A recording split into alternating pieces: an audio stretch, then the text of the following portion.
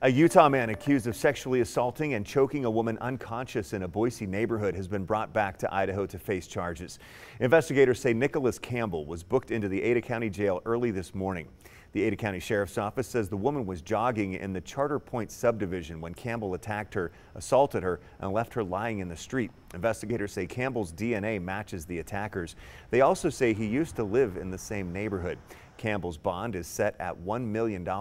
He faces up to 40 years in prison if convicted. The race to vaccinate America